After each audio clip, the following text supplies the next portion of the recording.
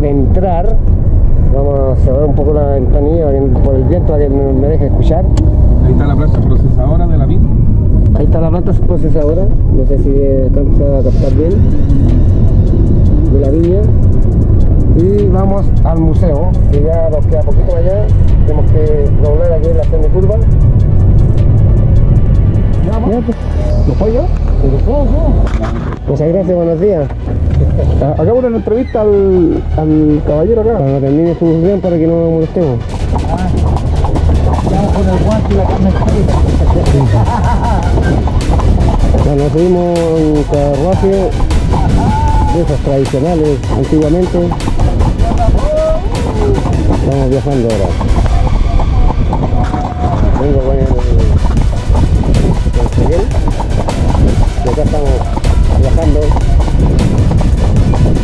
como la antigüedad con el carruaje. Bueno, esta es la, la de Santa Rita y le están dando un paseo para conocer en los terrenos.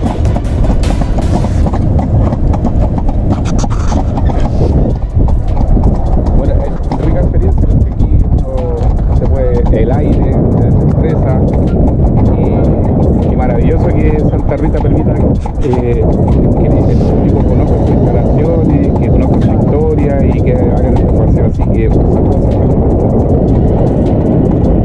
Lo mismo digo yo. Amigo, ¿cuántos años tiene esta viña?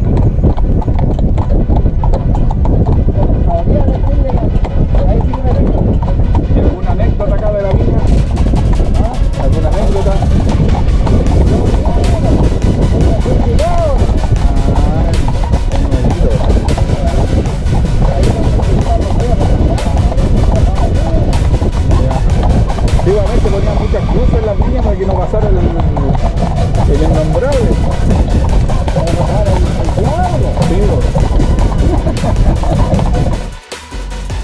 Hay una maquinaria antigua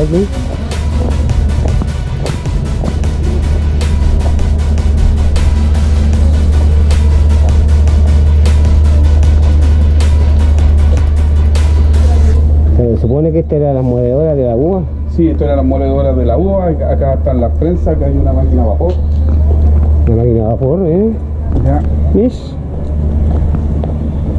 Y bueno, aquí parece que se industrializaron mejor, tienen una prensa para ya sacar el, el, el proceso de, de extracción que aquí se giraba, ¿Ya? toda la uva y se desparramaba y ya salía, tiene un nombre el jugo de la uva cuando está que es muy rico.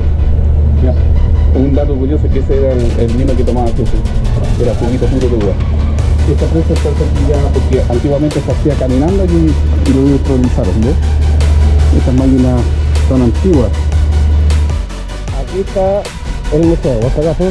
Sáquete allá, si quieres que te saque una foto. Acá estamos, buscando y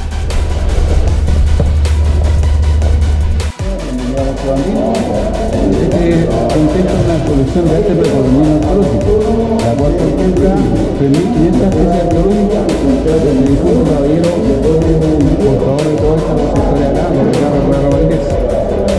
Y de colección, es una colección personal que fue donada en vida para lo que hoy en día el recorrido netamente de la cultura, de nuestros orígenes, reflejado en, en dos mezclas, cultura incaica, que se refleja por la estructura en base a las construcciones, que se refleja hoy día hasta la actualidad en Machu Picchu. Su primera función se mantiene igual. En el interior están reflejadas dos culturas andinas, que es la cultura netamente del pueblo originario, que es a mano izquierda, orfebrería, cerámica y textiles, en la avenida Resilla y Le Pascua. Y segundo salón a la derecha, es la cultura guachapapuche, nuestra.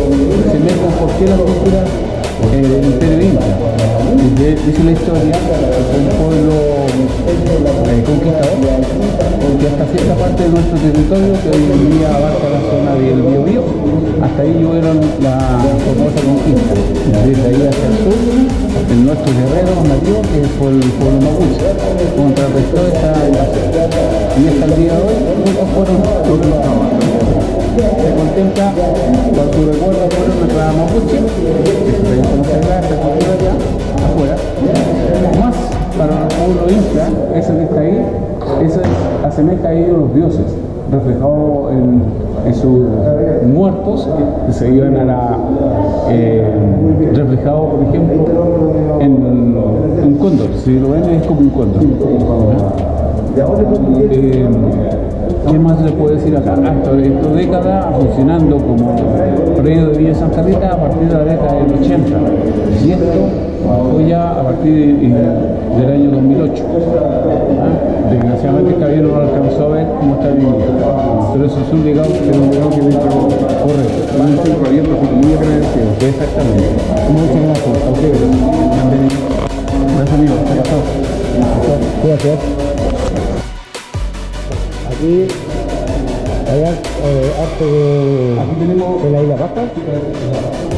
Aquí dice que es un chema, chemamú, el centro de madera.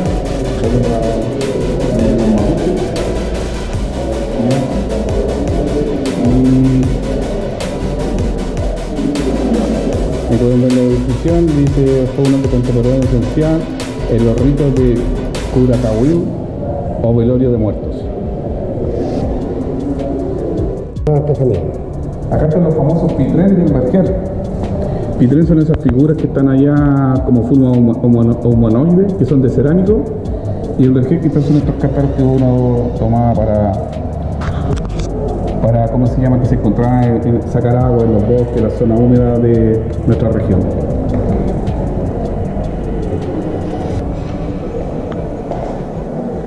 Acá hay más especies de cerámica, esto parece que fueron encontrados en Valdivia.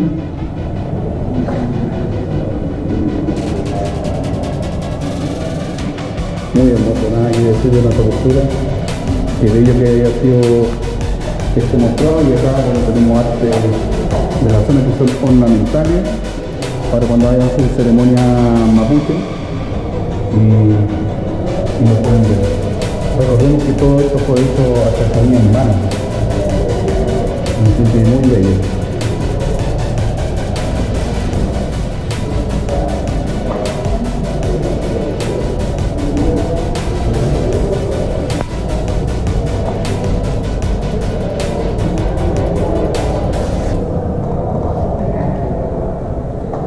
Bueno, tío Laco, acá están las clavas, que en el pueblo mapuche eh, ellos las piedras simboliza fuerza, ¿ya? energía, y bueno, le dan figura.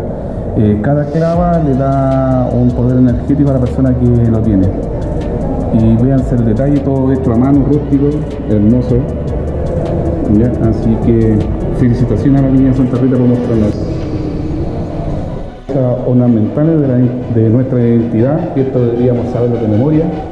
Lamentablemente no es tan, tan recurrente que sepamos cómo se llama cada objeto. Y todas estas piezas son de plata, todas estas son joyas ornamentales que son para sus distintos ceremonias.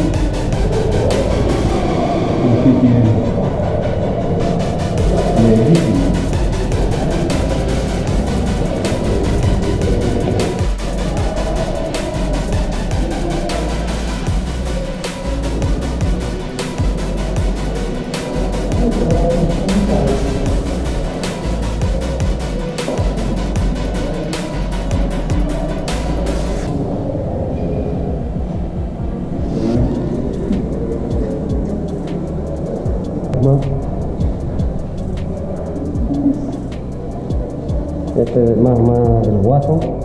Sí, que aquí ya hay una mezcla de cultura. Eso es lo que transmite esto, que ya cuando, cuando hicieron la mezcla de las culturas, eh, aquí hay rienda, montura, cintos ya, estribos, huasca. Y aquí están estas típicas, no sé cómo se llaman el nombre, pero son como las voladoras mapuches que ocupaban. voladora, Voladoras mapuches que Claro. venían, habían de tres piedras, de dos piedras, así que Les atacan a los a los españoles. españoles. Bueno, aquí pueden ver la espuela,